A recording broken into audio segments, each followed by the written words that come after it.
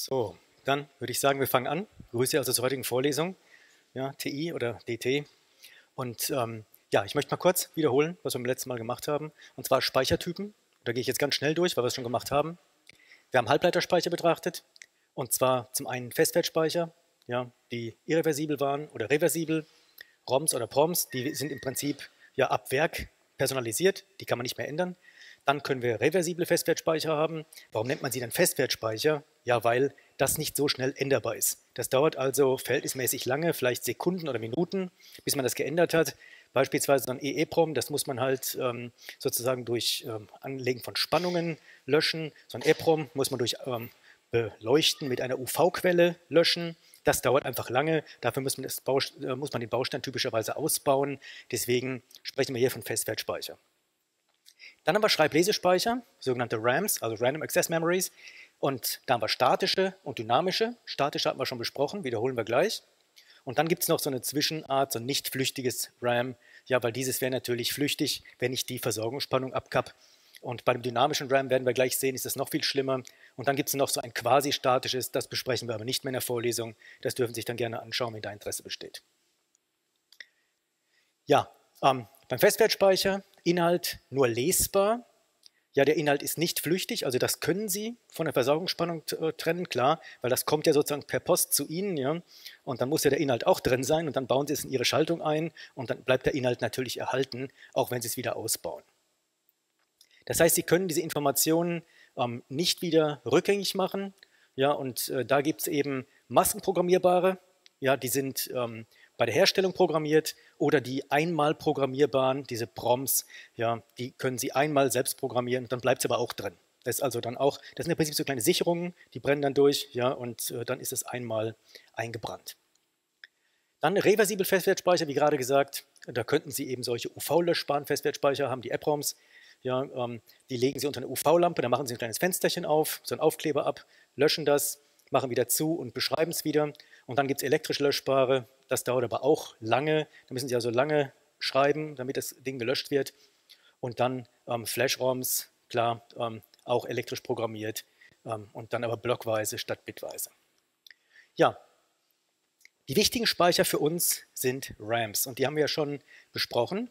Ähm, da gibt es eben sehr schnelle, die nah an ihrem Prozessor dran sind für den Cache und so weiter. Und dann gibt es langsame, die sind eben weiter weg. Ja, der Hauptspeicher, also wenn Sie jetzt von mehreren Gigabyte Hauptspeicher sprechen, dann sind das natürlich keine SRAMs, also solche statischen RAM-Bausteine, weil haben wir ja schon gesehen, dass die sehr aufwendig sind. Ja, sondern es sind dann dynamische und die besprechen wir gleich. Und da wird sie auch gleich zeigen, warum die so langsam sind und warum die so langsam sein müssen, warum sie aber auch so einfach sind und weswegen die auch erlauben, solche großen Speichermengen aufzunehmen. Und da wollte ich Ihnen das nochmal zeigen. Der Witz war, jetzt hatte ich ihn ja beim letzten Mal angemalt, wenn wir einen Inverter betrachten, ja, in CMOS-Technik, also CMOS, wie gesagt, ähm, Complementary MOS, das heißt also, wir haben eine komplementäre Ausgangsstufe hier. Also der Eingang wird an einen PMOS und an einen NMOS-Baustein angeschlossen, dann kommt der Ausgang hier raus. Ja, und das, ähm, den Baustein haben Sie ja schon gesehen, also wenn unten NMOS, oben ein PMOS ist, dann entspricht das einem Inverter. Das heißt also, A ist E quer. Und jetzt kann ich diese Inverter kreuzweise rückkoppeln und tatsächlich, auch wenn es beim letzten Mal Zweifel gab, ähm, ist das eine stabile Schaltung. Das heißt also, wenn ich jetzt hier eine 1 und da eine 0 einspeise, das heißt, ich muss also sozusagen die beiden Seiten entsprechend ähm, eingeben, dann bleibt dieser Zustand erhalten und der bleibt wirklich so lange fest erhalten, solange ich die Versorgungsspannung habe. Hört sich jetzt mal selbstverständlich an, wir werden aber gleich sehen bei den DRAMs, das ist nicht selbstverständlich bleibt also hier erhalten. Man sieht, dass das logisch ist. Also die 1 wird hier die 1, die 0 wird hier zur 0 und so weiter und so. Das bleibt erhalten. Und genauso, wenn ich das Ganze umdrehe. Und jetzt kann ich mir natürlich beliebig überlegen, welchen Wert ich denn jetzt eigentlich als Speicherwert nehme. Nehme ich die 1 oder nehme ich die 0 oder was auch immer, das ist willkürlich. Werden wir bei DRAMs auch sehen. Ja, ich kann jetzt einen willkürlichen Wert nehmen, ob ich das nun als True oder False speichere, das ist eigentlich wurscht. Ich will ja nur eine binäre Unterscheidung haben. Ja, und wenn ich das jetzt verwende, also ich setze diesen Inverter setze ich jetzt hier in so eine kreuzweise rückgekoppelte Schaltung ein, dann bekomme ich eben diese ganz witzige Anordnung. Und ich habe es deshalb so hingemalt, weil man sonst vielleicht auch gar nicht sieht. Ja, Sie sehen also dann hier nochmal, das ist eine Inverterstufe, ja, dies hier, das ist ein anderer Inverter, das ist der Eingang dieses Inverters, ja, das ist der Eingang dieses Inverters, ja, und das ist hier der Ausgang von dem, das ist der Ausgang von dem und die sind sozusagen so verzahnt. Ja. Und jetzt kann ich die isolieren, diese Zelle, dann liegt die nur noch an plus UB und an Masse.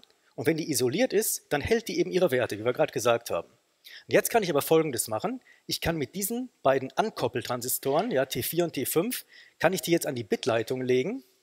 Ja, und ähm, das mache ich, indem ich hier diese Adresse, Sie erinnern sich ja, wir haben es ja auch gemacht beim letzten Mal, wie adressiere ich überhaupt? Da habe ich also ganz viele Adressleitungen. Jetzt wäre meinetwegen diese Adressleitung ähm, High.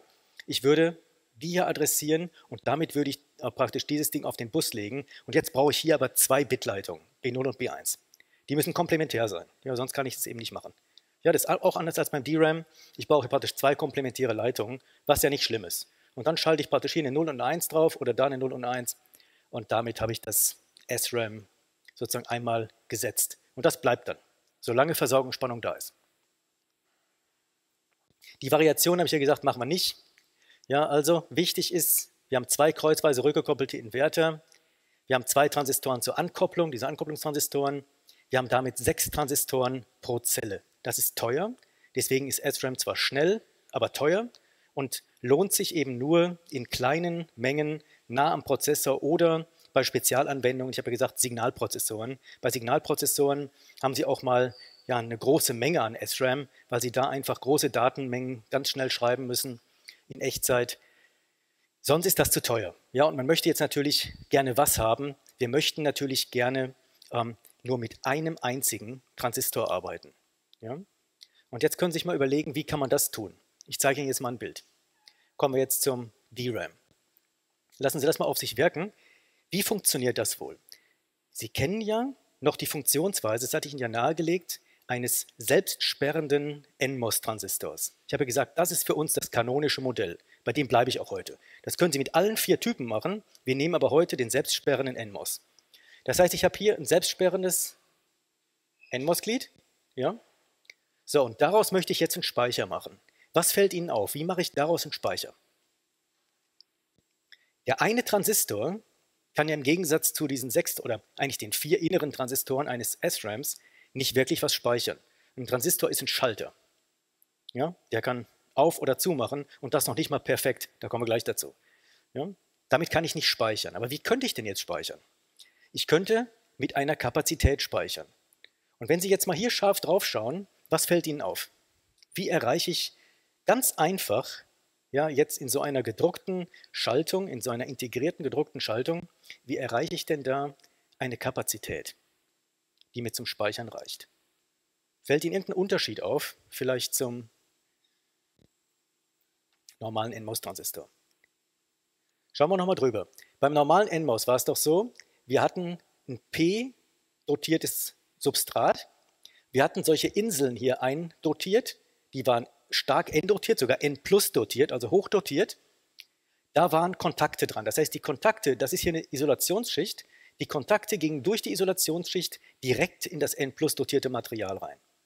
Ja, dadurch hatten wir da Kontakt. Dann haben wir ein Gate. Das Gate ja, war auch aus Metall. Das ist hier so eine Siliziumdioxidschicht. Ja, das ist also isolierend. Das Gate berührte aber nicht das P-Substrat. Dadurch hatte ich hier eine Kapazität, mit dieser Kapazität, mit diesem Kondensator, konnte ich jetzt entsprechend Ladungsträger anlocken, um mir hier so einen N ja, leitenden Kanal zu schaffen. Das heißt, ich habe hier sozusagen Elektronen hochgelockt, ja, die dann hier so einen Kanal ähm, aufbauen. Sie erinnern sich, den konnte man auch abquetschen, ja, zu einer Seite, je nachdem, welche Spannung ich hier ans Drain gelegt habe. Ja, und jetzt mache ich das Gleiche beim Drain. Sie sehen, hier haben wir plötzlich eine Isolierungsschicht. Das muss ich eigentlich mal einzeichnen, dass man das sieht. Ja, das heißt also, wir haben hier so eine Isolationsschicht.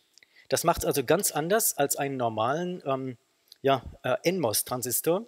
Hier ist kein Kontakt mehr. Das heißt also zu dieser jetzt auch vergrößerten N-Plus-Region hat ähm, sozusagen diese, dieser Metallkontakt ja, keine Verbindung. Das heißt, wir haben hier ähm, einen Spalt. So, und jetzt können wir also sagen, wir haben eine Transistorzelle, das ist der kleinste Aufwand, den man sich überhaupt denken kann, ja, von allen Speicherzellen. Die Information speichern wir jetzt in diesem Kondensator. Das ist der Kondensator, den wir hier dann sehen. Da komme ich gleich dazu. Ja, und dieser Kondensator wird jetzt durch eine vergrößerte Drainzone gebildet. Das heißt, die wird einfach etwas aufgebläht. Und ja, die dünne Isolationsschicht, das ist das hier. Ja? Und das ist eine ganz kleine Kapazität, die ist nur zwischen 0,1 und 0,5 Picofarad, also winzig klein. Und wir werden gleich sehen, warum das schlecht ist. Ja? Also gucken wir mal hin. Das wäre also der Kondensator. Das ist hier ganz normal Drain Gate Source. Drain Gate Source, ja, ist der Transistor. Dann haben wir hier noch einen Einkoppeltransistor, wie wir gerade hatten. Ja, der liegt an plus UB. Der Kondensator liegt jetzt hier an plus UB. Das kann man übrigens auch anders machen. Den können wir auch in Masse legen, das geht genauso. Ja, den haben wir jetzt an plus UB gelegt. Adressleitung schaltet den Transistor und die Bitleitung, ja, die schaltet hier das, die Source. Ja? So, und jetzt ist die Frage, wie speichere ich denn da überhaupt ein Bit? Wie kann ich da jetzt etwas drin speichern? Ganz einfach, wenn ich jetzt hier einen bestimmten Wert anlege, zum Beispiel plus UB oder 0, das kann ich ja erreichen, indem ich hier oben ähm, entsprechend schalte. Ja? Wenn ich jetzt hier eine 0 liegen habe und hier plus UB, dann lade ich den Kondensator voll auf. Die Frage ist jetzt, bedeutet das jetzt, ist das true oder false? Das habe ich ja gerade schon gesagt, bei der SRAM-Zelle ist eigentlich egal. Ja, das werden Sie gleich auch noch, wird Sie gleich noch verwundern vielleicht, ja. Ähm, das ist eigentlich wirklich beliebig. Ich muss jetzt nur sagen, habe ich Ladung oder nicht, und das kann ich ja einem Wahrheitswert zuordnen. Das heißt, wenn ich hier eine 0 liegen habe, lädt er sich auf. Habe ich hier eine 1 liegen, das bedeutet also plus UB, dann habe ich auf beiden Kondensatorplatten die gleiche Spannung. Wenn ich dann den ähm, Transistor durchschalte, dann wird auf jeden Fall ähm, auf beiden Seiten die gleiche Spannung liegen und keine Ladung drauf sein. Das heißt also, keine Ladung entspricht 1. Ja? Ist das klar? Also volle Ladung entspricht 0, keine Ladung entspricht 1. Bei der Konstruktion einer DRAM-Zelle, die könnten wir ja auch, wie gesagt, anders konstruieren. Man könnte es hier, wie gesagt, den Speicherkondensator auf 0 legen, auf Masse legen. Dann wäre es genau andersrum. So, und jetzt wollen wir das Ganze auslesen. Wir wollen also jetzt natürlich im Betrieb das Ganze auslesen. Und jetzt haben wir ein paar Problemchen. Ja, ähm, zum einen, der, ähm, diese Speicherkapazität, was ist wohl das Hauptproblem bei so einem DRAM-Speicher? Selbst wenn der unter voller Versorgungsspannung steht, so wie ich ihn hier hingezeichnet habe. Was passiert? Wir haben eine Ladung auf einem Kondensator mit, sagen wir mal, 0,1 Picofarad. Was wird wohl passieren mit der Zeit? Sogar nach einer Millisekunde, sagen wir mal. Was passiert? der verliert doch seine Ladung. Ja? Im Prinzip wird er doch durch alle möglichen Leckströme, ich meine, das ist ja nur ein, sag ich mal, reales Bauteil mit allen möglichen ähm, ja, äh, Unwägbarkeiten, der verliert beispielsweise Ladung über den nicht komplett gesperrten Speichertransistor und so weiter. Das heißt, er verliert die ganze Zeit Ladung. Das heißt also, wenn ich mich nicht beeile, ist auch der Bitwert, den ich da gespeichert habe, wieder weg. Der fadet sozusagen weg. Das ist ein Problem. Das zweite Problem ist, diese eine Zelle liegt ja jetzt in einer riesigen Matrix ja, von Speicherzellen. Das heißt, ich habe ganz viele Bitleitungen, ganz viele Adressleitungen. Ja, das ist in einer riesigen Matrix. Und diese ganzen Leitungen, wenn das flächig aufgebaut ist, haben natürlich Kapazitäten. Und diese Kapazitäten sollte man nicht unterschätzen. Die sind nämlich typischerweise mindestens genauso groß, wenn nicht größer, als diese 0,1 bis 0,5 Picofarad. Das heißt, ich habe hier eine Leitungskapazität. Ich kann also nicht so ohne weiteres einfach hier beim Auslesen hier einfach aufmachen und gucken, was drin ist. Das funktioniert nicht, weil das verliere ich an die Leitungskapazität. Was man also macht, das ist der Trick jetzt hier ähm, bei so einer DRAM-Zelle. Das können Sie sich jetzt auch mal gedanklich überlegen. Wenn Sie wissen möchten, was für eine Ladung hier drauf sitzt. Wie gesagt, wir haben ja gesagt, bei 0 voll geladen, bei 1 total entladen. Dann lade ich diesen hier zum Beispiel auf die halbe Spannung auf. Das heißt, ich knall jetzt einfach mit, mit plus UB Ganz kurz ziehe ich den voll auf ähm, die halbe Spannung UB, also ein halb UB. Und dann öffne ich den. Und dann gibt es einen Ausgleichsstrom. Warum? Jetzt habe ich ja im Prinzip zwei in Reihe geschaltete Kondensatoren. Und diese Kondensatoren müssen jetzt Ladungen austauschen. Warum? Weil wenn der voll ist auf plus UB und der auf ein halb UB, dann liegen hier plötzlich 1,5 UB an. Dummerweise hier oben aber nur einmal UB. Das heißt, die müssen Ladung verlieren, müssen Ladung sozusagen austauschen ja, untereinander. Und dann kann ich sagen, in welche Richtung tauscht sich das aus. Das heißt, auf was lä ähm, lädt sich die Leitung auf. Ja? Und das heißt, in dem Fall wird die Leitung sich abladen. Ist der hier gar nicht geladen und der ist auf ein halb UB, hier habe ich plus UB, dann müssen sich beide aufladen und ich kann sehen, aha, der hat sich jetzt aufgeladen. Ja, und ähm, das kann ich Ihnen gerne, wenn jemand Interesse hat, auch nochmal zeigen. Das kann man ganz schön zeigen indem man zwei verkoppelte Differentialgleichungen, gewöhnliche lineare Differentialgleichungen aufstellt für die beiden Kondensatoren. Da kann man sehr schön sehen, wie die sich in Abhängigkeit von ihren Kapazitäten und Widerständen und so weiter, die wir natürlich auch noch haben, wir haben so Leckwiderstände, wie die sich entsprechend aufladen. Ja? Und damit kann ich dann sagen, ja, wie der Inhalt dieser Kapazität ist. Also habe ich zwei Probleme. Ich muss eine, irgendeine Technik haben, die immer wieder nachpumpt, die Bitleitung auflädt. Ja, und dann brauche ich irgendeine Technik, die ähm, auch dafür sorgt, ähm, ja, dass ich diese Speicherkapazität am Leben erhalte, immer wieder was Neues reinspeise. Ja, und was ist das Schlimme jetzt beim Lesen, was ich gerade erklärt habe? Ich schalte ja schlagartig zwei Kapazitäten mit geringen Vorwiderständen in Reihe. Und der ist einer davon. Was passiert denn wohl mit dem dann beim Lesen? Der verliert ja auch seine Ladung, weil die Ladung gibt er ja ab an die Leitung. Das heißt, plötzlich beim Lesen ist, die, ist es gar nicht mehr drin. Das heißt, wir haben ein zerstörendes Lesen. Ja, ich weiß sozusagen danach gar nicht mehr, was drin ist. Das heißt, beim Lesen muss ich mir merken, was drin stand und muss es sofort wieder reinschreiben. Ja, also das DRAM ist in der Hinsicht ein bisschen pervers. Ja? Ich muss sozusagen die ganze Zeit auffrischen und beim Lesen muss ich mir merken, was ich gelesen habe und es wieder auffrischen. Bei jedem Lesen. Und das macht das Ganze so aufwendig und deswegen sind die Zugriffszeiten natürlich auch wesentlich schlechter als beim SRAM, wo ich einfach mit einem Zugriff sofort die Information bekomme. So, das hier nochmal zusammengefasst. Ja, also Speicherkapazität, gleiche Größe wie die, diese Leitungskapazität, in der Regel sogar viel kleiner. Ja. Und das Lesen ist jetzt so ein Ladungsvergleich. Ja, dann laden wir vor, ja, indem wir die Bitleitung kurz mit TL verbinden, vielleicht auf UB halbe aufladen. Ja, dann legen wir an A natürlich die entsprechende Steuerspannung an. Dann wollen wir den Speichertransistor durchschalten. Und wenn die geladen ist, ja, dann findet ein Ausgleich in die Richtung statt, wenn nicht, in die andere Richtung statt.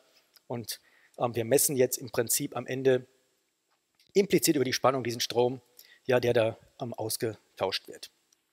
Und ich hatte gesagt, das Schreiben ist jetzt auch einfach. Ja. Ähm, wir legen eine positive Spannung UGS an, dann wird er leitend. Wenn die Bitleitung auf Masse liegt, dann haben wir ein Potential, dann lädt er sich auf. Liegt die Bitleitung auf UB, dann haben wir kein Potential zwischen den beiden Kondensatorplatten, ja, wenn man das so sieht, also bei den beiden Drainplatten. Ja, ähm, und dann ähm, ja, werden die abgesaugt, der ist entladen. Und die Zuordnung, was ich gerade gesagt habe, die ist natürlich rein willkürlich und sollte nicht verwirrend sein. Wir haben also hier gehabt einen Kondensator als Ladungsspeicher, ja, und ähm, wir brauchen einen Transistor zum Ankoppeln. Und der verliert natürlich seinen, seinen Zustand ja, wenn er von der Spannungsversorgung abgetrennt wird, aber er verliert auch seinen Zustand, selbst wenn er an der Spannungsversorgung dran ist, man muss nur lang genug warten. Und lang genug hängt eben von der Konstruktion ab. Das können auch Mikrosekunden oder weniger sein, ja, dass der sozusagen immer wieder seine, seinen Zustand verliert. Das heißt, wir müssen auffrischen, also so einen Refresh machen. Und das ist wichtig bei so einem DRAM. Wenn Sie sich also so ein Timing-Diagramm mal anschauen von so einem DRAM, dann sehen Sie das, was man da alles tun muss. Ja. Beim, Im Normalbetrieb, wenn man nicht liest, Natürlich, wenn man zerstörend liest, ja, dann muss man wieder nachpumpen. Genau. Und bei SRAMs haben wir einen Flip-Flop. Das behält natürlich die Programmierung ohne Regeneration und ja, Zugriffszeit wesentlich kürzer, aber wesentlich mehr Aufwand. Ja, dann ganz kurz. Ähm, wir können ja so eine Funktionstabelle in Speicherbausteinen abspeichern und dann eben die Funktion durch so eine ähm, disjunktive Normalform, also n wie Normalform realisieren. Ähm, das ist aber oft aufwendig. Das haben wir ja gesagt, wir können da ja sehr viele Terme haben. Ist aber einfach zu machen. Jetzt könnte ich aber auch eine disjunktive Minimalform nehmen und dafür verwendet man dann solche Programmable Logic Arrays, diese PLAs. Und äh, zum, im Gegensatz zum ROM ähm, sind die jetzt mit Mintermen bestückt auf der Eingangsseite, äh, nicht mit Mintermen bestückt, sondern mit Primimplikanten bestückt. Und das heißt, der Decoder, wir haben ja gesagt, der Decoder geht sozusagen alle Minterme durch. Ja? Wenn ich sozusagen am, am Eingang adressiere, ist es hier so, dass ich einfach eine Und-Matrix habe. Das ist ziemlich simpel, wenn man sich das anschaut. Ich habe hier meine N-Eingänge, M-Ausgänge. Hier habe ich eine Oder-Matrix für die Ausgänge, hier habe ich eine Und-Matrix für die Eingänge und jetzt muss ich einfach eine disjunktive Minimalform finden. Also das heißt, eine disjunktive Verknüpfung von Konjunktionen. Und die Konjunktionen müssen aber nicht alle Literale enthalten, das war ja die Definition, ja, sondern die können kürzer sein. Und das heißt, da muss ich jetzt sozusagen hier nur sagen, das mache ich am besten am Beispiel, wenn ich hier was anlege, ja, an diesem Beispiel, habe ich hier unten A, B und C und jeweils A nicht, B nicht, C nicht. Und jetzt möchte ich sowas realisieren wie A, B nicht oder A, C. Und auch eine zweite Funktion, weil wir haben ja zwei Ausgänge, möchte ich noch A nicht, C nicht oder AC oder A, B, C nicht. Ja, was mache ich dann? ich suche mir im Prinzip hier, in dieser Leitung suche ich mir einfach das A, das B nicht, dann habe ich hier eine A, B nicht Leitung und die greife ich entsprechend ab. Dann habe ich hier noch eine A, C Leitung, ja, ich glaube, das muss ich nicht weiter erklären, das ist ziemlich klar. Ja? Das heißt, ich bekomme damit meine Terme und hier hinten greife ich die dann einfach wieder nach unten senkrecht ab, bekomme damit F1, F2. Das heißt, ich kann mit solchen Bausteinen, und das Schöne ist, die können Sie wirklich in jedem Laden kaufen, ja, die können Sie selbst programmieren. Wir werden gleich noch einen einfachen sehen, ja. Die können Sie einfach kaufen, kosten, was weiß ich, 50 Cent, ja. Und dann können Sie die kaufen, Programmiergerät dazu kaufen, was auch nicht viel kostet. Und dann können Sie ähm, im Prinzip hier diese Matrix frei programmieren und diese Matrix frei programmieren und damit eine beliebige Logikschaltung umsetzen. Natürlich mit all den Bedingungen, die wir schon gesagt haben und die noch kommen. Laufzeiteffekte kommt gleich noch. Die bleiben ja Ihnen hier auch nicht erspart, aber damit können Sie eine Logikschaltung auch schön umsetzen.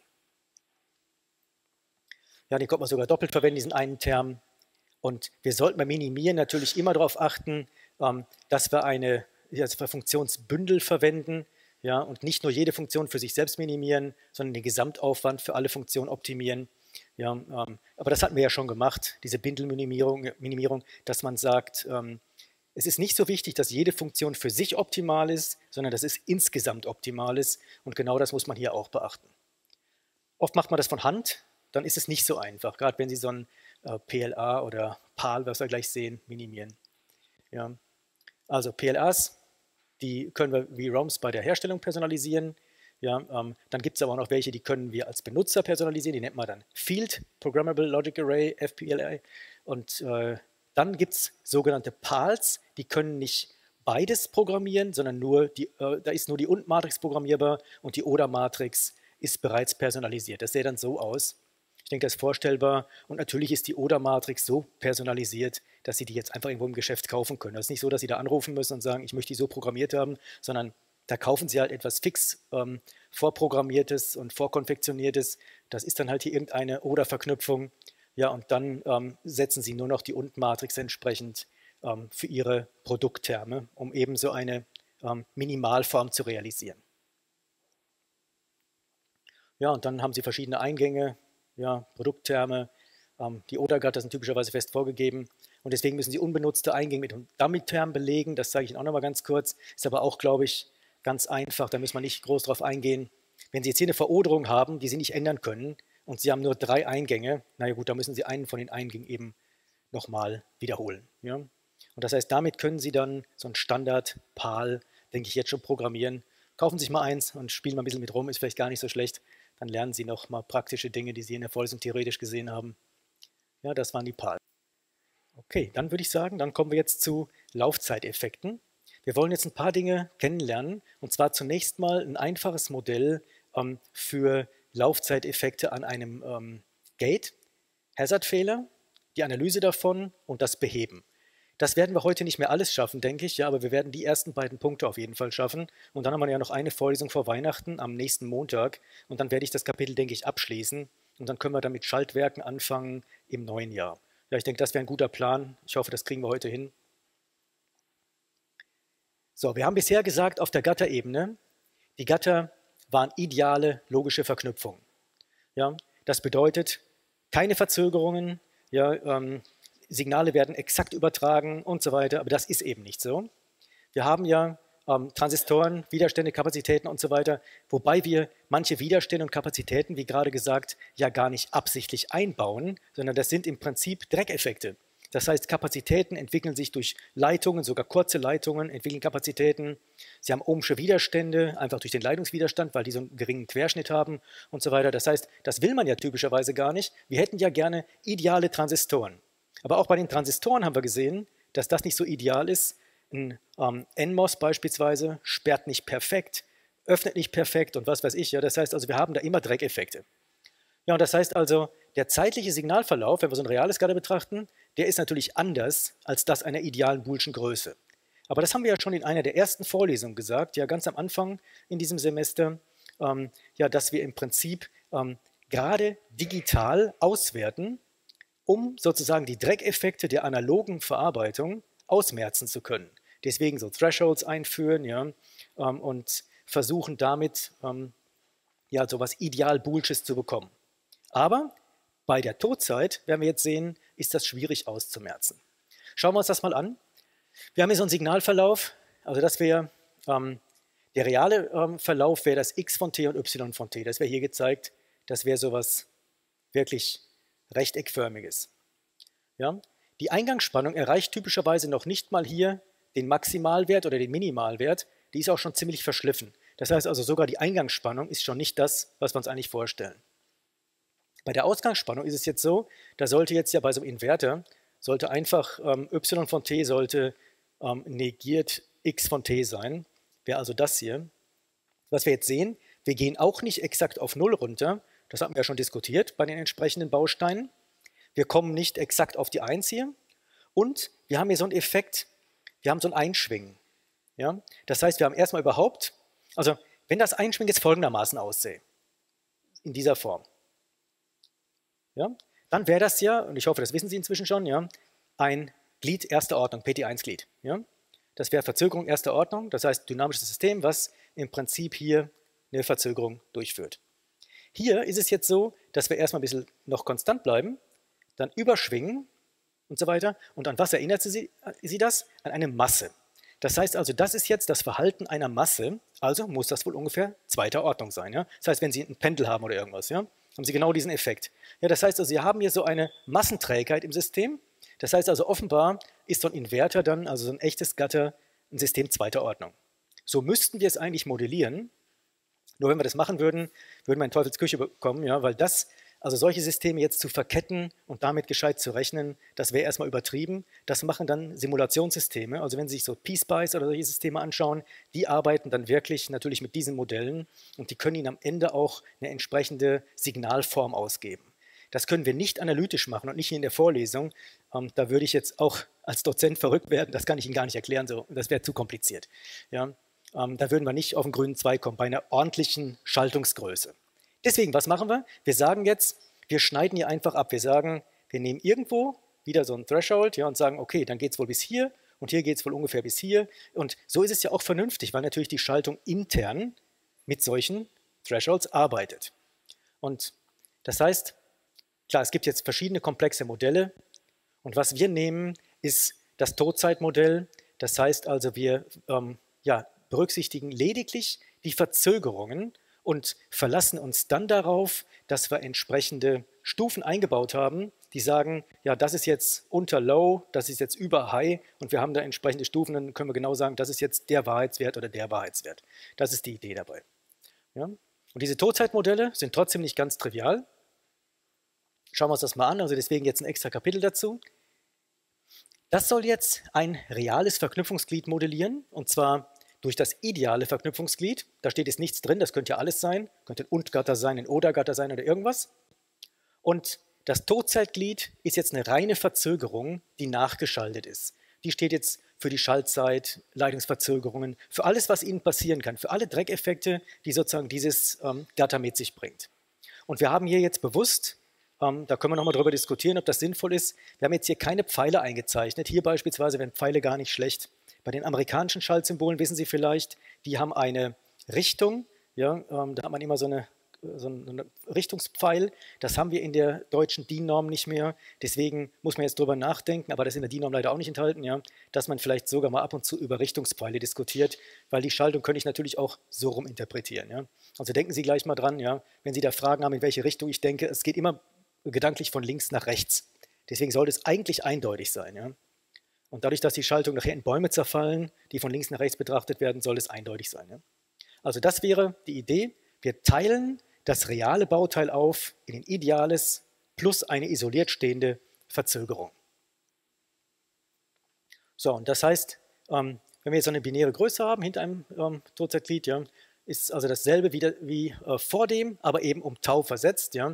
Das heißt also, wenn wir sowas haben wie a von t, dann ist das, was rauskommt, b von t, ist a von t minus Tau. Und das bezeichnen wir dann durch so ein Todzeitglied.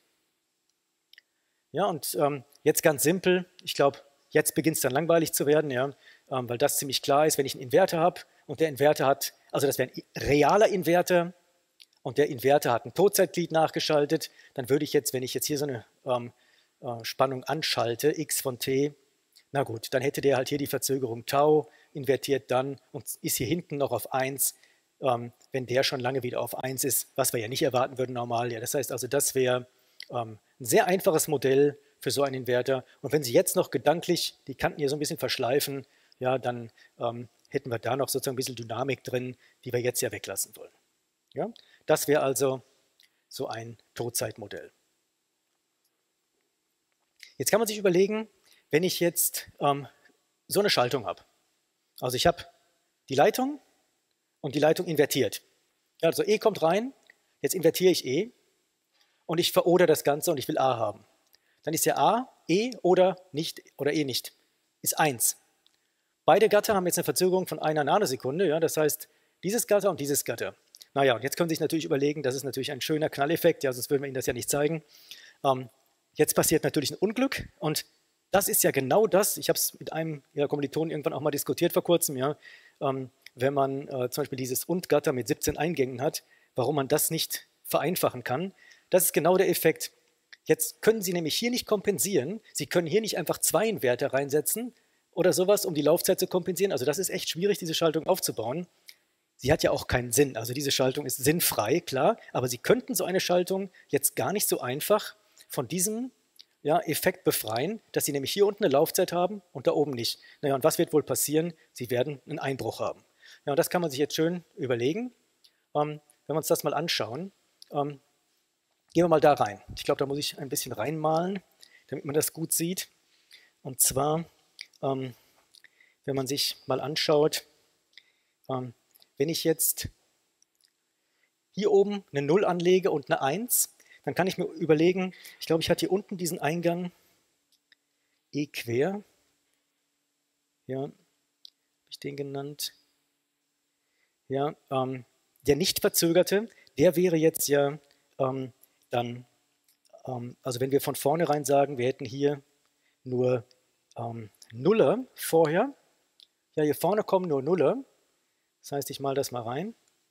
Hier vorne wären also bis dahin nur Nuller, bis hierhin wären nur Einser. Dann würde er ja jetzt hier unten wohl mit einer 1 reagieren. Ja? Genau, und jetzt gehen wir mal weiter. Mit einer 1 und dadurch, dass das verzögert wird, bleibt natürlich hier sowieso die 1 stehen, die wir hier schon hatten. Ja, weil hier vor war ja auch eine 0, dann war davor auch eine 1, dann kommt hier auch eine 1 hin. So, das heißt, das bleibt wohl auf 1 erstmal am Ausgang. Den Ausgang können wir uns auch anschauen. Wir können ja auch vor allem mal anschauen, wie es hier aussieht. Ähm, den hatte ich jetzt A' genannt. Und da würden wir ja, wenn wir hier anfangen, auch erstmal eine 1 haben und dann eine 1. So, und hier vorne käme jetzt eine 0. Ja, und wenn ich jetzt hier einfach weitermache, ja, ähm, bekomme ich hier eine 1, dann müsste ich hier vorne eine 0 bekommen. Ja, und irgendwann kommt dann ähm, sozusagen verzögert ja, diese 0 auch hier durch. Ja, Sie sehen, diese 0 kommt dann hier jetzt verzögert durch. dann müssen wir hier entsprechend verodern. Ja, und dann sind wir immer noch ja, 1 oder 1, 1 oder 0. Das heißt, hier oben bekommen wir auch noch eine 1. So, und jetzt bekommen wir hier mal eine 0. Und dann, wenn dann eine 0 kommt, muss hier eine 1 hin. Und das, ich decke das mal alles auf. Ja. Wir machen das mal weiter.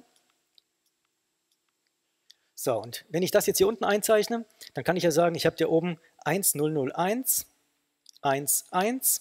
Ja, und dann ist klar, dass zeitverzögert hierzu natürlich hier 1, 1 und dann kommen die beiden Nuller, dann kommen die beiden Einser hier. Die 1, die letzte 1 habe ich hier nicht mehr eingezeichnet.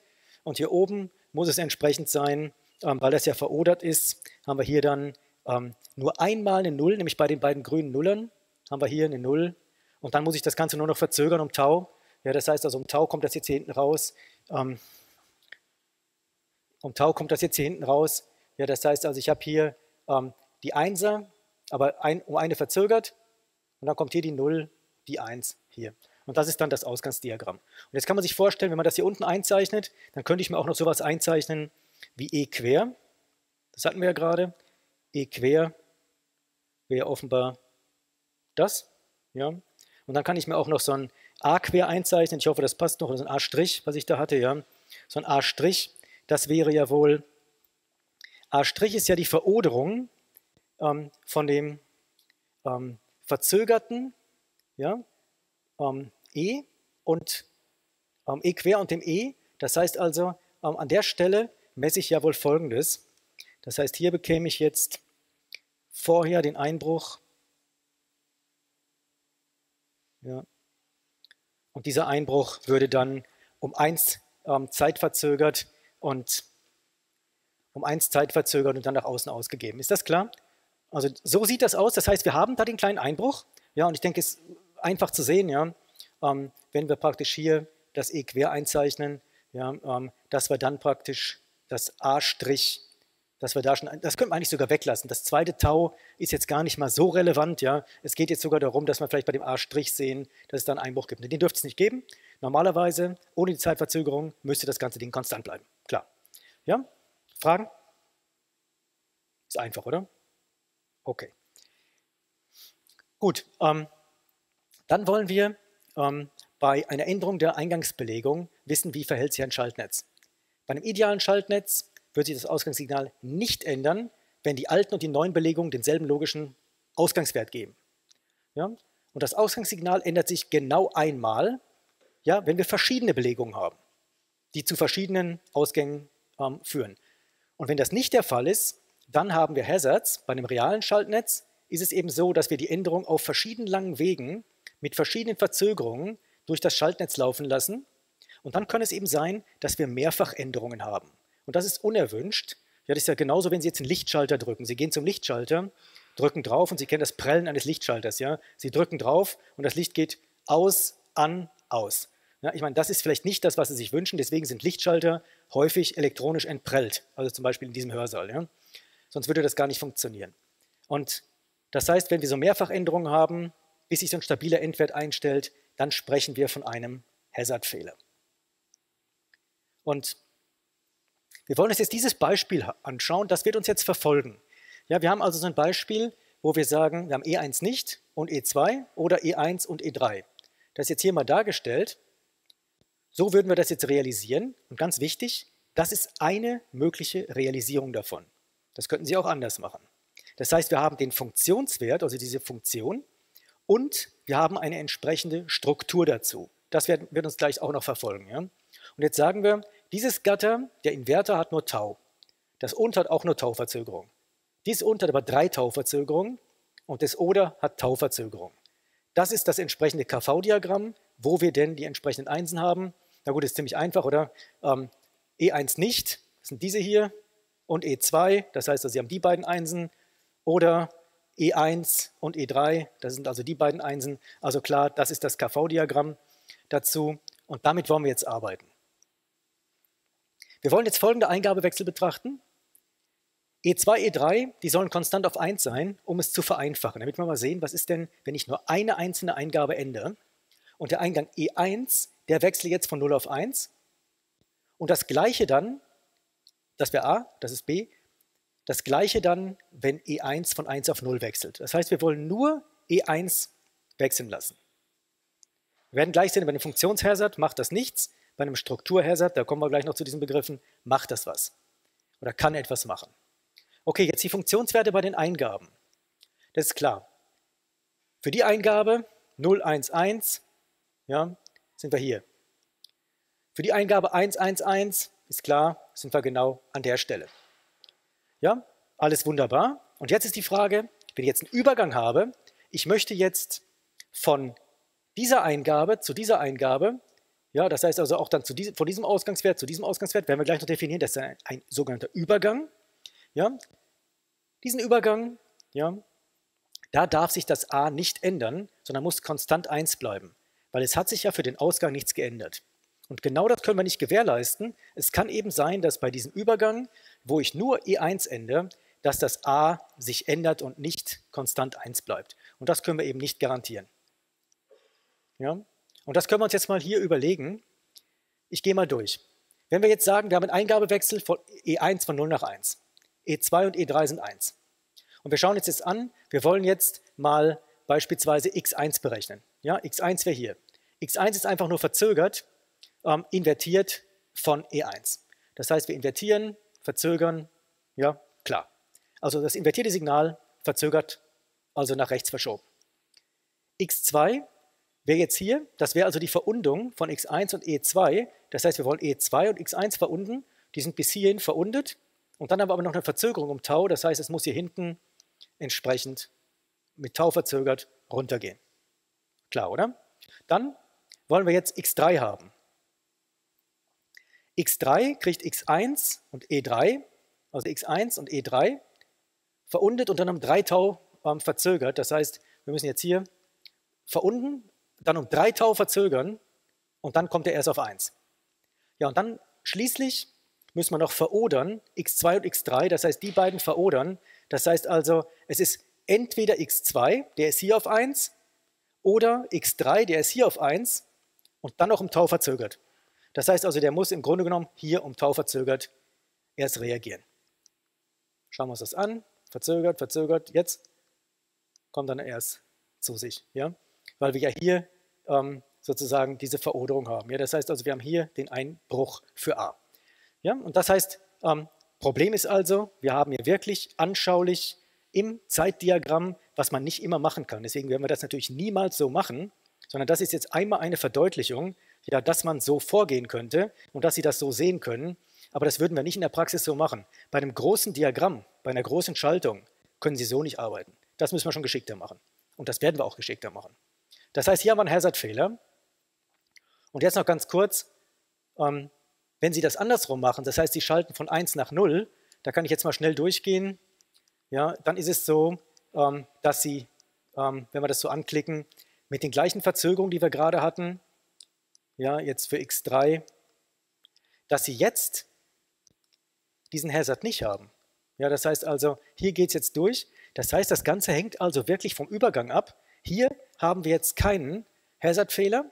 Ja, und das werden wir jetzt gleich noch klassifizieren. Warum kann das sein? Ja, ähm, wir haben die gleiche Schaltung, zwei verschiedene Übergänge, ähm, haben Hazard-Fehler. Jetzt müssen wir überlegen, was ist eigentlich ein Hazard und was ist ein Hazard-Fehler.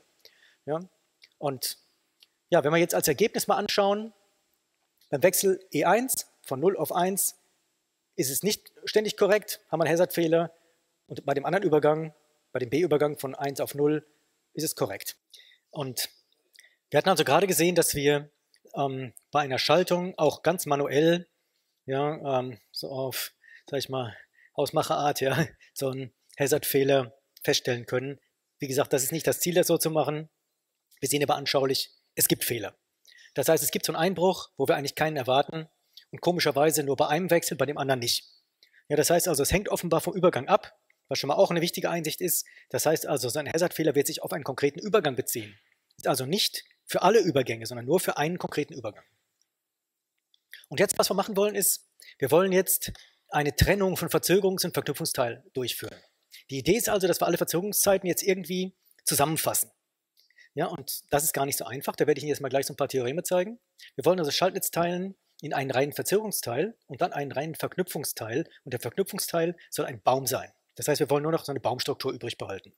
Und da müssen wir jetzt uns was anschauen. Und zwar können wir uns mal so Eigenschaften von Todzeiten anschauen. Ja, schreibe das mal hin, also Eigenschaften. Eigenschaften von Todzeiten. Und da gibt es gleich eine schöne Eigenschaft und zwar die Addierbarkeit. Und ich glaube, das muss man sich einfach mal ähm, zu Gemüte führen, damit einem klar ist, dass es auch so stimmt. Sonst glaube ich, sind die nachfolgenden Herleitungen etwas verwirrend. Und zwar, wenn ich jetzt sage, ich habe eine Kette von Todzeiten. Und bei der Kette beschränke ich mich jetzt mal auf zwei, weil ähm, äh, wenn ich das für zwei hergeleitet habe, kann ich das ja wohl offenbar auf mehrere ausdehnen. Das heißt, ich habe hier A von T, B von T und C von T. Ja? So, und jetzt habe ich hier jeweils eine Verzögerung drin. Die habe ich jetzt unterschiedlich gemacht. Wir werden in der Vorlesung eigentlich fast immer mit einer Verzögerung und Vielfachen davon arbeiten, aber das ist ja auch egal. Tau 2 könnte ja ein Vielfaches von Tau 1 sein. So, und jetzt, wie bekomme ich jetzt eine Zusammenfassung von diesen beiden Todzeiten? Da kann ich mir jetzt ja überlegen, wenn ich das sauber hinschreibe, kann ich ja sagen, dass b von t ist einfach a von t minus Tau 1. Ja, so haben wir es ja definiert. Also das Tau bedeutet ja immer, dass ich den Ausgangswert um Tau verschiebe und das Minus bedeutet Rechtsverschiebung in der Zeit. Klar, das erinnern Sie sich ja noch vielleicht aus den Mathematikvorlesungen, ja. Also eine Rechtsverschiebung in der Zeit. Und jetzt kann ich sagen, dann ist das c von t, das ist ja dann b von t minus Tau 2. Also habe ich b von t minus Tau 2. Wenn das aber b von t minus Tau 2 ist, dann kann ich ja b von t wieder einsetzen. Dann kann ich, äh, also das b einsetzen, das wäre dann ja a von t minus Tau 1 minus Tau 2. Ja? Und jetzt fasse ich das wieder zusammen, indem ich sage, das ist dann a von t minus und dann Klammer auf Tau 1 plus Tau 2. Ja, und damit kann ich ja, und ich denke, das ist einleuchtend, oder? Also unterbrechen Sie mich, wenn es Fragen gibt, ja. Das einleuchtend, dass ich jetzt zusammenfassen kann, dass ich jetzt ein großes Diagramm malen kann. Tau 1 plus Tau 2 und dann habe ich halt am Ende nur noch C von T und am Eingang nur noch A von T. Ja? Das heißt also, ich darf offenbar solche Todzeiten zusammenfassen, wenn sie denn hintereinander kommen, ja, wenn sie hintereinander auftreten. Das ist eine Sache, die wir brauchen. Wir haben ja gesagt, wir wollen sie addieren, wir wollen sie durchschieben. Und jetzt braucht man noch so eine Art Durchschiebbarkeitsregel, ja, die noch hier zukommt, weil hier müssen sie ja erstmal in einem Pfad liegen sozusagen. Ja, es darf nichts dazwischen sein. Das heißt, was passiert denn, wenn ich jetzt das Ganze mache? Und jetzt komme ich mal zu Eigenschaften von Todzeiten. Wenn wir jetzt Durchschiebbarkeit haben, also das heißt, Nochmal Eigenschaften von Todzeiten. Ja, und dann haben wir so etwas wie Durchschiebbarkeit. Und das ist gar nicht so klar, dass man das machen kann. Deswegen muss man sich das ähm, mal vergegenwärtigen. Also wir haben eine Funktion und vielleicht mache ich das jetzt, ich habe es mir zwar etwas anders hier aufgeschrieben, aber ich mache es vielleicht noch mit zwei Eingängen. Also ich habe eine Funktion f und die Funktion f hat einfach zwei Eingänge. Nämlich, sie hat die Eingänge a1 von t und a2 von t. Das vereinfacht das vielleicht etwas. Dann bekomme ich hier hinten ein b von t raus und habe dann eine Verzögerung, Tau, und dann hinten kommt ja, da war ich wenig kreativ mit den Namen, das habe ich dann jetzt einfach wieder C von T genannt. Ja? Und die Frage ist doch jetzt, kann ich mit diesem Tau etwas anfangen? Und ja, man kann das durch diese entsprechende Funktion f durchschieben. Aber warum? Und das können wir uns vielleicht mal überlegen. Also das b von t ja, ist ja offenbar f von a1 von t und a2 von t. So, und jetzt kommen wir zur Verkettung von Funktionen, ja, also eine Komposition von Funktionen. Ja, die Funktionen werden zwar in der Boolschen Algebra nicht so wahnsinnig kompliziert sein, aber ich habe ja gesagt, eigentlich verketten wir da wirklich Funktionen, das heißt also Zeitabläufe. Es ist nicht so, dass die, Boolsche, dass die Boolschen Funktionen in der Realität wirklich so auftreten. Wir haben ja gerade gesehen, die sind verschmiert, ja, äh, verzögert, die erreichen nicht die richtigen Werte und so weiter. Das heißt, wir müssen da wirklich mit kompletten Zeitfunktionen ähm, arbeiten. Deswegen ist es sinnvoll, hier mit dieser Funktion f zu arbeiten. So, dann kann ich sagen, wenn ich das b von t habe, dann ist ja c von t, ist ja einfach das b von t minus tau. Wir haben ja nur eine Verzögerung hier drin und dann kann ich ja einsetzen und das ähm, ist dann einfach ähm, f von t oder f von a1 und dann von dem t minus Tau und a2 von t minus Tau. Und dann sehen Sie, dass wir jetzt hier ähm, im Grunde genommen sehr einfach herleiten konnten, ja, dass das c, dass der Ausgang jetzt einfach nur noch abhängt ähm, von dem f und den verzögerten ähm, Eingabewerten. Und das können wir uns jetzt mal hinmalen. Das heißt also, wir haben jetzt hier wieder unsere Funktion f. Hm. Und wir haben den Ausgang C von T. Und am Eingang, ich mache das mal mit ein bisschen Abstand hier, haben wir jetzt ein Tau. Und hier haben wir ein Tau. Und die Werte gehen hier rein.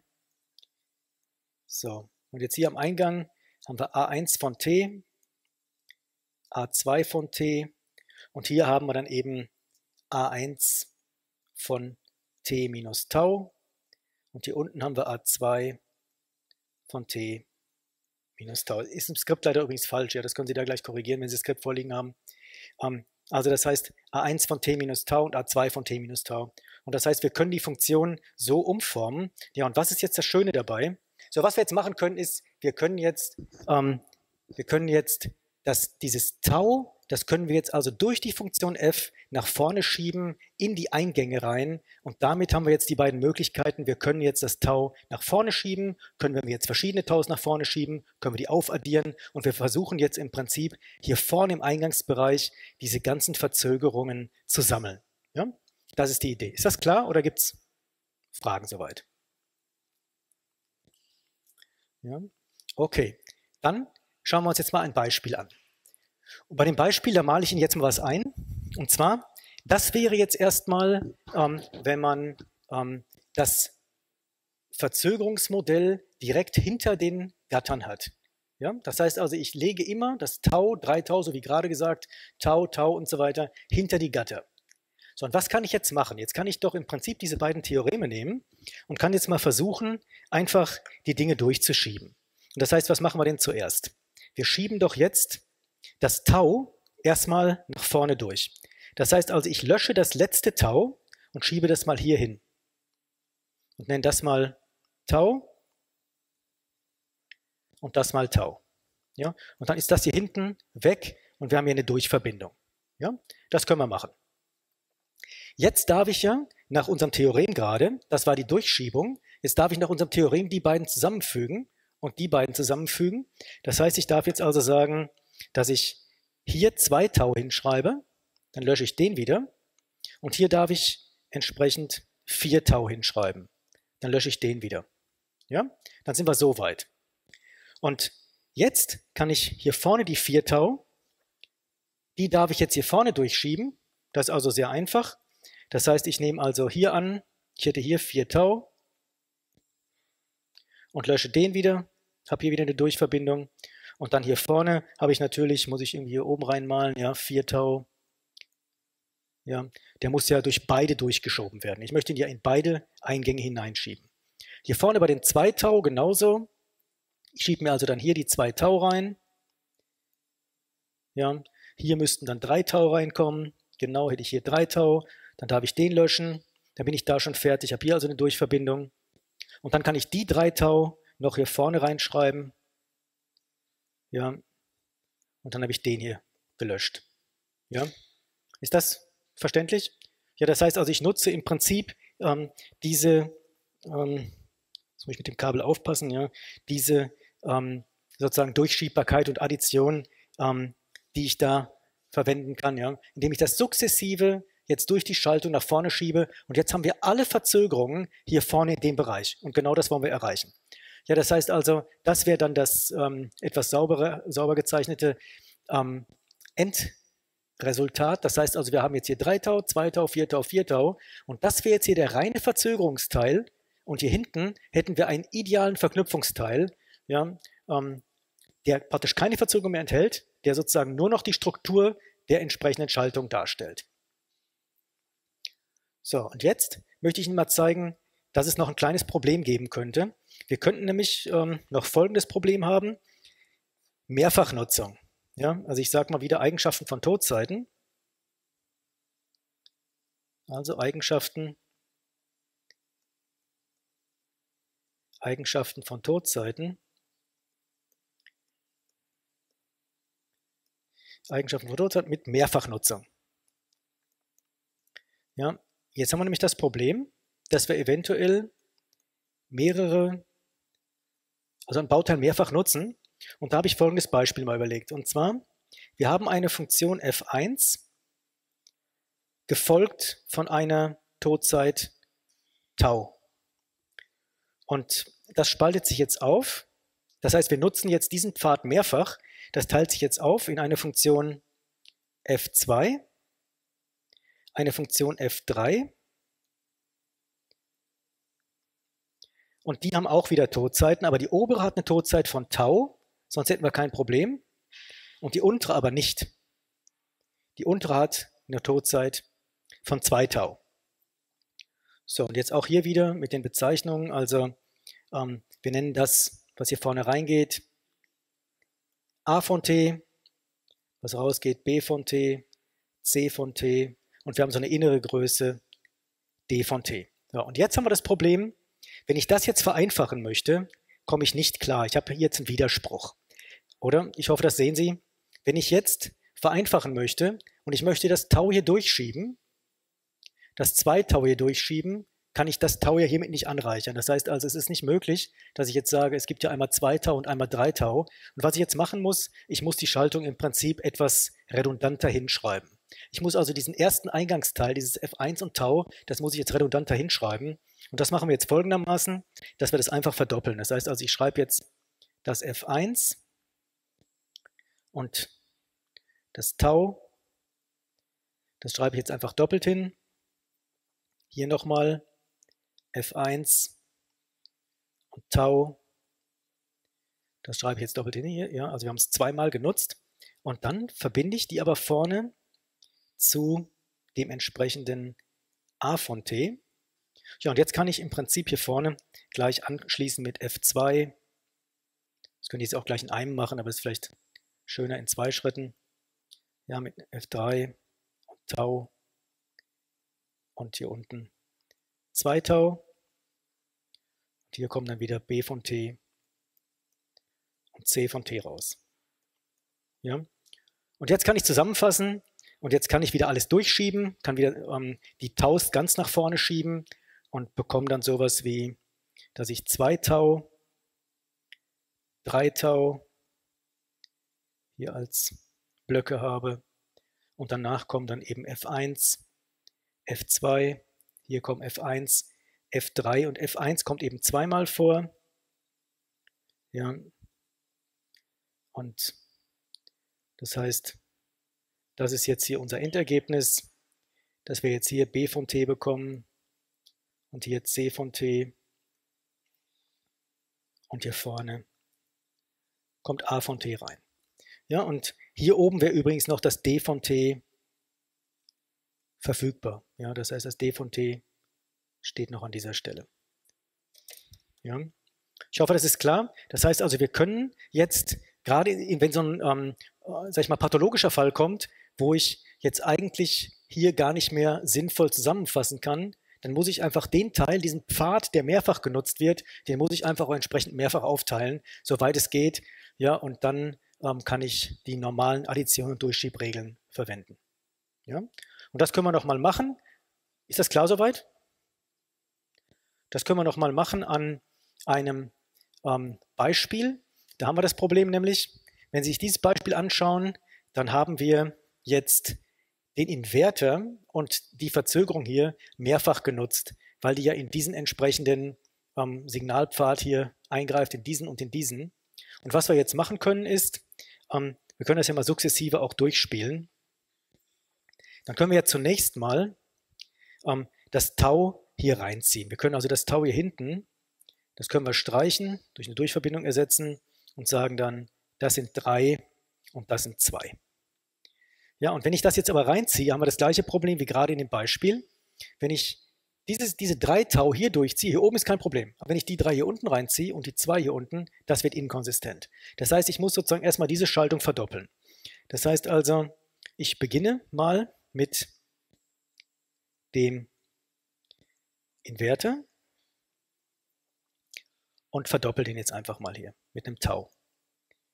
Ja ziehe den hier dran und diese Verbindung hier wird gekappt. Und das heißt, das E2 liegt jetzt sozusagen hier an beiden dran. So, und was ich jetzt machen kann, wenn das gekappt ist, dann kann ich ja jetzt die 3 Tau, die kann ich jetzt hier durchziehen. Das heißt, ich habe hier oben 3 Tau. Ja, streich die hier hinten wieder. Habe dann hier 3 Tau, da müsste man hier 4 Tau haben. Ja, und jetzt kann ich die 4 Tau ähm, die kann ich hier vorne reinziehen, kann die also auch da wieder streichen. Ziehe die hier vorne rein, kann die hier wieder streichen. Ja, und hier unten kann ich 2 Tau reinziehen. Das heißt, ich bekomme hier 2 Tau, streiche die hier hinten, bekomme hier 3 Tau, weil ich die da reinziehe. Und jetzt kann ich die 3 Tau auch nochmal nach vorne ziehen, bekomme hier 3 Tau und streiche die hier wieder. Ja. Das heißt, so können wir sukzessive ähm, durchschieben und addieren und bekommen damit ähm, am Ende wieder ja diese ähm, Eingangsvorgabe. Ja, das heißt also, wir trennen wieder ähm, die Verzögerung und die Verknüpfung und das sieht dann wieder folgendermaßen aus. Sie sehen, wir haben die Verdopplung von dem Inverter, aber wir haben alle Verzögerungen nach vorne geschoben. Ja, wir haben also wieder den Verzögerungsanteil, Verknüpfungsanteil und das hier hinten ist ein rein Boolsches, also ideales Boolsches Verknüpfungsglied. Ja? Das wollen wir erreichen. Okay, jetzt können wir im Prinzip durch diese Trennung immer ein zweigeteiltes Modell erreichen. Das Verzögerungsmodell. das heißt, die Eingänge spalten sich jetzt auf. Ja, alle Signalpfade durch das Schaltnetz. Und die Ausgangsgrößen des Verzögerungsteils die nennen wir jetzt Pfadvariable. Warum? Weil die verschiedene Pfade darstellen, weil wir jetzt ja einen Baum bekommen. Das heißt also, der Verknüpfungsteil ist ein Baum und jeder Eingang von dem Baum, das ist ein Pfad. Ja? Und ja, der erste Index ist immer bei so einer Doppelindizierung die Eingangsvariable und der zweite Index ist sozusagen die Pfadvariable, die vom gleichen Eingangs, von der gleichen Eingangsvariable stammt. Und alle zusammen bilden den Pfadvektor. Ja? Werden wir gleich genauer sehen. Dann haben wir den Verknüpfungsteil. Wir haben also ein ideales Schaltnetz, verzögerungsfrei, ideal in jeder Hinsicht. Ja? Und jede Pfadvariable kommt nur einmal vor, deswegen Baumstruktur. Ja? Und ja, jetzt müssen wir aufpassen, diese algebraische Darstellungsform, wenn ich jetzt diese Pfadvariable nehme, ja, das ist dann der sogenannte Strukturausdruck. Den darf ich nicht vereinfachen, weil den Strukturausdruck, den habe ich ja gerade so gewonnen, dass er mir die Struktur darstellt. Wenn ich den vereinfachen würde, ähm, wäre ich ja schlecht beraten, dann hätte ich ja gleich eine andere Funktion haben können. Ähm, das darf ich auf keinen Fall machen. Und dann ist eben neben der reinen Funktion auch die Struktur beschrieben, weil ich eben alle Pfade parallel beschreibe. Ja? Und ja, hier ist der Pfadvektor eben das. Wir sagen jetzt hier, das ist E11, ja, E12 hier, weil der zweimal vorkommt, dann E21 und E31. Ja, und der Strukturausdruck ist dann natürlich ein anderer. Wir haben jetzt diese entsprechenden Variablen so, dass sie alle vorkommen. Das heißt, es kommen mehr Variablen vor als in dem ursprünglichen Ausdruck, nämlich jetzt vier statt drei. Ja? Und bei dem Beispiel 2 das gleiche. Wir haben jetzt hier unsere Pfadvariablen und unser Ausdruck wird auch entsprechend komplizierter.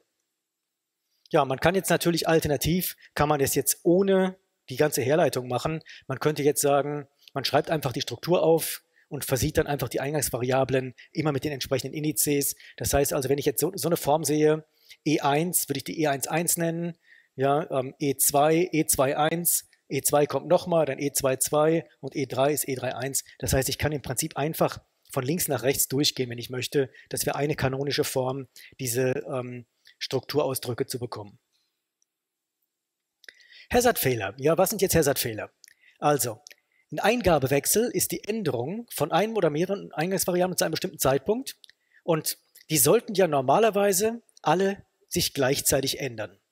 Dummerweise ist das gar nicht möglich. In der Praxis werden sich ja wohl drei Eingangsvariablen nicht gleichzeitig ändern, wenn ich E1, E2, E3 habe, sondern da wird es ganz, ganz kleine, vielleicht infinitesimale Änderungen geben und die werden dazu führen, dass es etwa, äh, doch zu einem Schalten führt, was wir nicht gewollt haben.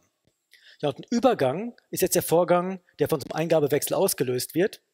Ja, und er beginnt ähm, sozusagen mit dem Ruhezustand, dann kommt der Eingabewechsel und dann kommt der neue Ruhezustand und das wollen wir ähm, hier auch berücksichtigen.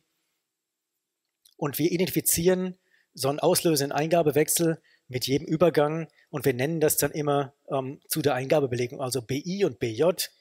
Ja, und dann gehen wir eben von BI nach BJ und hier wäre so ein Beispiel E1, E2, E3 von 0, 1, 1 nach 1, 1, 1. Dann sagen wir das B6 nach B7. Ja, ist ziemlich klar. Also wir nehmen das einfach binär und ja, Einschränkungen sind, wir wollen warten zwischen zwei Eingabewechseln, dass das Schaltnetz zur Ruhe kommt. Klar, aber wir haben ja gesagt, es geht ziemlich schnell. Ja, das heißt also, innerhalb von Millisekunden ist das sowieso zur Ruhe gekommen.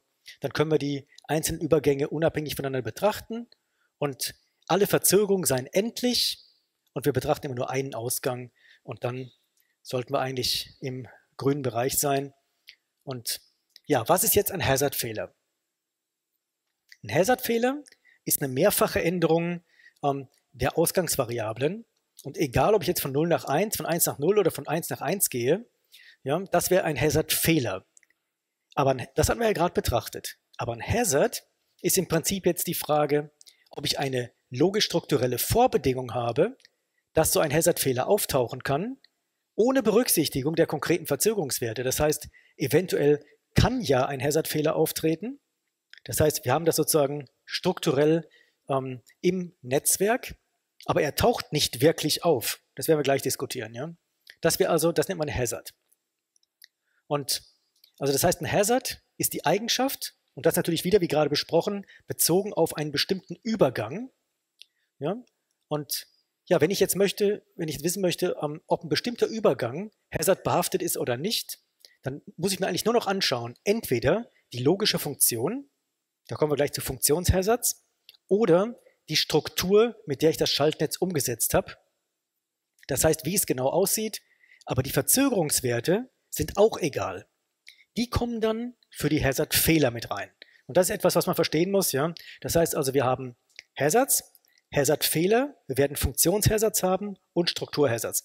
Ja, und dann kommen noch Verzögerungswerte dazu. Das heißt also, es ist relativ kompliziert ähm, zu unterscheiden. Also, tritt ein Hazard-Fehler auf, dann können wir sagen, klar, wenn ein Hazard-Fehler auftritt, dann hatten wir wohl so einen Hazard. Andersherum können wir nicht sagen, wenn ein Hazard da ist, dann muss ich schon ungünstige Verzögerungswerte haben, ob es ein Funktionshazard oder ein Strukturhazard ist, ja, um wirklich einen Hazard-Fehler zu bekommen.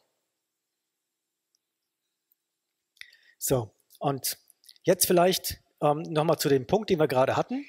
Ähm, wir hatten ja einen Hazard-Fehler bei diesem Übergang. Wir hatten keinen bei diesem Übergang. Ja? Also von E1 von 0 nach 1 und E1 von 1 nach 0 ähm, hatten wir einmal einen und einmal keinen. Ja, das heißt aber, ähm, das heißt, dieser Übergang ist auf jeden Fall Hazard behaftet. Das heißt, wir können sagen, da gibt es einen Hazard, weil wir einen Fehler festgestellt haben. Klar.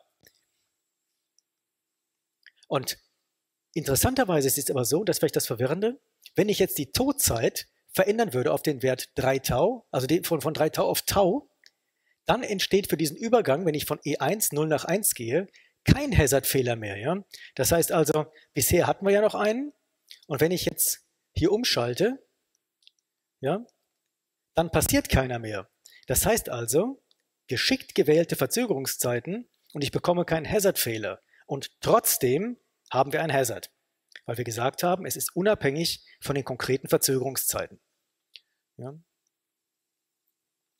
Jetzt können wir mal so ein paar Dinge, das ist jetzt, glaube ich, nur Enumerieren von ähm, einfachen Dingen. Ja.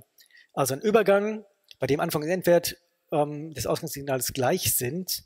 Ja. Da sprechen wir von einem statischen Nullübergang, ja, wenn Anfangs- und Endwert beide Null sind. Wir sprechen von einem statischen Eins-Übergang, wenn Anfangs- und Endwert beide Eins sind. Ja, ist ein statischer Übergang. Dann dynamischer Übergang. Na gut, das ist jetzt nicht so viel anders, wenn wir von 0 anfangen und auf 1 wollen oder von 1 anfangen und auf 0 wollen. Ja, ich denke, da gehe ich jetzt mal schnell durch. Ähm, und wir haben jetzt einen statischen Übergang, beispielsweise für den hier, ja, von 1 nach 1. Wir haben einen dynamischen 0-1-Übergang, ja, ähm, für den hier von 0 nach 1. Und andersherum natürlich in die andere Richtung. Ja? Wie gesagt, das sind jetzt einfache Sachen, da geht es immer schnell durch. Unterbrechen Sie mich, wenn es irgendwie nicht klar wird oder ich was Falsches sage. Ja? Also das wären eben diese verschiedenen statischen und dynamischen Übergänge in dem Beispiel. Das ist ja unser stehendes Beispiel. Ja? Sie erinnern sich, das war das KV-Diagramm.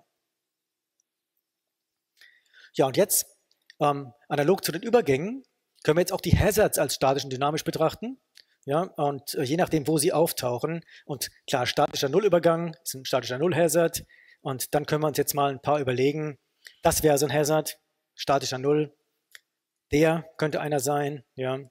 Und für 1 Hazards natürlich genau gleich, ja, ziemlich simpel, ja. Und das heißt also, wir haben gerade bei dem Übergang gesehen, haben wir also einen statischen 1 Hazard, ja. So ist es jetzt bezeichnet. Okay. Dann, wenn ich einen dynamischen 0-1-Übergang habe, 0,1 Hazard und dann gibt es auch da entsprechende Beispiele. Ich glaube, da kann ich schnell drüber gehen, ja. Das ist ziemlich einfach. Ich muss sozusagen, wenn es sozusagen nicht monoton übergeht, das heißt, wenn ich also hier irgendwas nicht monotones dazwischen habe, dann ist es offenbar ein Hazard. Andersherum genauso, ja. So, und jetzt ähm, können wir mal klassifizieren. Wenn ich Übergänge habe, statisch oder dynamisch. Statisch bedeutet, Ausgang ändert sich nicht, dynamisch bedeutet, Ausgang soll sich ändern. Aber er soll sich ja nur einmal ändern. Und dann kann ich jetzt sagen, ich habe entweder etwas 0,1 statisches oder hier 0,110 dynamisch. Ja, und das gilt für den Hazard genauso. Der Hazard wird einfach genauso bezeichnet. Ja, und jetzt müssen wir unterscheiden, und das ist wichtig, zwischen Funktionshazards und Strukturhazards. Ein Funktionshazard kommt da, dadurch zustande, und das ist, glaube ich, ein ganz wichtiger Punkt, ja, der vielleicht nicht leicht zu verstehen ist. Der Funktionshazard kommt dadurch zustande, dass die Eingangsvariablen sich nicht exakt, obwohl wir das voraussetzen, zum gleichen Zeitpunkt ändern. Das heißt, wenn ich drei Variable anlege und ich erwarte, dass die sich jetzt alle gleichzeitig ändern, die tun es aber nicht ganz genau gleich, dann ist es ja wohl so, dass wir durch unser KV-Diagramm verschiedene Wege durchlaufen können. Und diese verschiedenen Wege führen uns vielleicht jetzt mal von einer 1 auf eine 0 wieder auf eine 1, dann habe ich einen Hazard. Bei einem Strukturhazard ist es aber so, dass der dadurch zustande kommt, dass ich durch das entsprechende, ja, durch diese Struktur, die ich mir dann aufgebaut habe und die wir ja gerade vereinfacht haben, verschiedene Signallaufzeiten habe. Das heißt, wenn ich vom Signal oder vom, vom Eingang 1 und vom Eingang 2 auf den Ausgang verschiedene Laufzeiten habe, dann bekomme ich einen entsprechenden Hazard. Also eine völlig andere Sache, auch wenn man die vielleicht leicht durcheinander bringen kann, ja. Also ähm, Funktionshazard, da liegt die Ursache in der Funktion selber und in dem entsprechenden Schalten der Eingangsvariablen. Und bei einem Strukturhazard liegt es an dem Schaltnetz, was ich realisieren möchte. Und das Schlimme ist jetzt eben, es kann ja sein, dass ich es falsch realisiert habe. Das heißt, ich bekomme den Hazard nur, weil ich es so realisiert habe, wie ich es gerade gemacht habe. Aber es könnte anders realisiert keinen Hazard aufweisen. Ja? Okay, und der Witz ist jetzt der, also ähm, liegt in der realisieren, zu realisierenden Funktion, tritt in jedem möglichen Schaltnetz auf. Das heißt, ich kann mir, egal welches konkrete Schaltnetz ich mir für die Implementierung überlege, der Funktionshazard geht nicht weg, er kann nicht behoben werden. Ja? Und jetzt kann ich nur der Hazard. Ich kann aber Hazard-Fehler vermeiden, indem ich jetzt für das konkrete Schaltnetz, was ich mir überlegt habe, die Verzögerungswerte so wähle, dass ich damit den Funktionshazard umgehe und keinen Hazard-Fehler bekomme. Aber der Hazard bleibt erhalten. Das ist ein wichtiger Punkt. Ja? Bei einem Strukturhazard liegt es eben in der Struktur. Ja, das heißt, ich könnte das Schaltnetz ja ändern. Ich könnte es ja anders implementieren. Und das heißt, ich könnte jetzt ein anderes Schaltnetz entwerfen oder ich könnte Verzögerungen ändern und ich weiß nicht was, ja. Dann kann ich aus einem Strukturhazard oder kann ich einen Strukturhazard, ähm, kann ich so einen, ähm, den kann ich beheben, ja. Ich kann keinen ähm, Funktionshazard beseitigen. So, jetzt vielleicht die letzte Folie für heute, dass wir nochmal kurz überschlagen, was wir alles gesehen haben. Was benötige ich denn zum Erkennen von einem Funktionshazard, von einem Strukturhazard, von einem Funktionshazard-Fehler und einem Strukturhazard-Fehler? Wenn ich einen Funktionshazard äh, bestimmen möchte, das ist gleich das Erste, was wir in der nächsten Stunde machen. dann muss ich mir die Funktion anschauen und nichts anderes. Die Struktur ist unerheblich. Das liegt gleich in der Funktion. Ja, wie gesagt, und das können Sie sich auch mal durchspielen gleich zu Hause, ja, wenn Sie bei einer Funktion im KV-Diagramm einfach mal, wenn Sie zum Beispiel E1, E2 wechseln und Sie wechseln erst E1 und danach und kriegen dann Wert und dann E2 oder erst E2 und dann E1 und Sie bekommen zwei verschiedene Wege und die geben solche nicht monotonen Folgen. Dann haben Sie gleich einen Funktionshazard. Das heißt, Sie müssen nur die Funktion des Schaltnetzes überprüfen. Ein Strukturhazard, dafür brauchen Sie nur die Struktur des Schaltnetzes und die Funktion ist damit sowieso gegeben. Das heißt, die Funktion ist automatisch implizit enthalten. Die, das sind aber nur Hazards. Für die Praxis ist vielleicht ja nur wichtig, tauchen denn auch Hazard-Fehler auf? Und für Hazard-Fehler muss ich mir die konkreten Verzögerungen anschauen zu einer gegebenen Struktur. Das heißt also, für Funktions-Hazard-Fehler oder auch für Struktur-Hazard-Fehler brauche ich die entsprechenden Verzögerungen, um zu sagen, taucht denn der konkrete Hazard-Fehler für den Übergang wirklich auf und er ist ja bezogen auf den Übergang. Dann bedanke ich mich und wir sehen uns am nächsten Montag im Audimax. Ja, danke.